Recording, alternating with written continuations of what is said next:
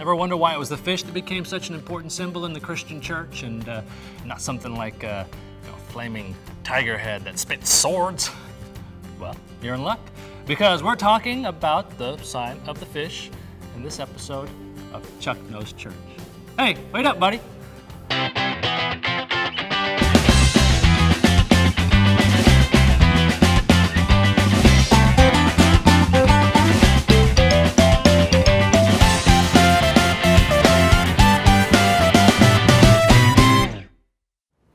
Since I was a kid in church, I remember hearing so many references to fish, uh, like in the Gospels when Jesus said, I will make you fishers of men. Or when the disciples got stuck with only five loaves and two fish to feed thousands, and Jesus made it happen. And weren't the first disciples fishermen? Peter, Andrew, James, and John?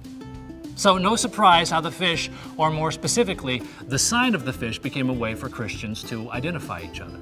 You see, after the tomb was found empty, and Jesus was resurrected, it wasn't always safe to around town as a follower of Christ.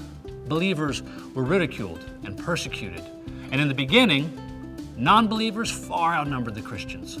So, to make sure it was safe to talk about Jesus and the good news, the sign of the fish became a sort of uh, secret handshake for strangers. See, the first stranger might simply draw a line on the ground, kind of like this.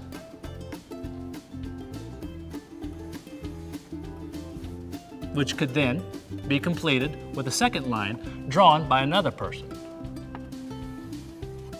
Kind of like this, indicating a fish. Or, hey, I'm a Christian too. Not to be confused with, hey, want to go to Red Lobster? And if they're at risk of being exposed as Christians, it could be erased just as fast.